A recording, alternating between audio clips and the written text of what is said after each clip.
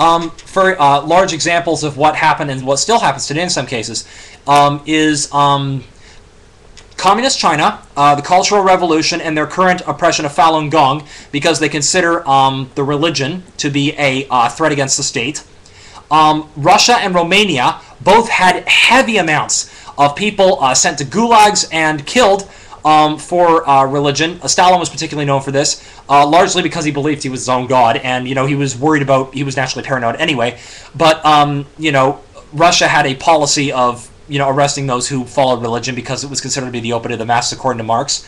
Um, but these were prime examples of misinterpretation of ideology. For example, uh, Russia was not even supposed to have a communist revolution because it ended up being rural based opposed to urban. Um, and um, China, well, same problem. Um, so the thing, of course, is though is that you know um, I and even with Nazism, I mean the idea of rise of the Superman, um, they took it too far and started exterminating Jews, and on top of that, tried to conquer the rest of the world.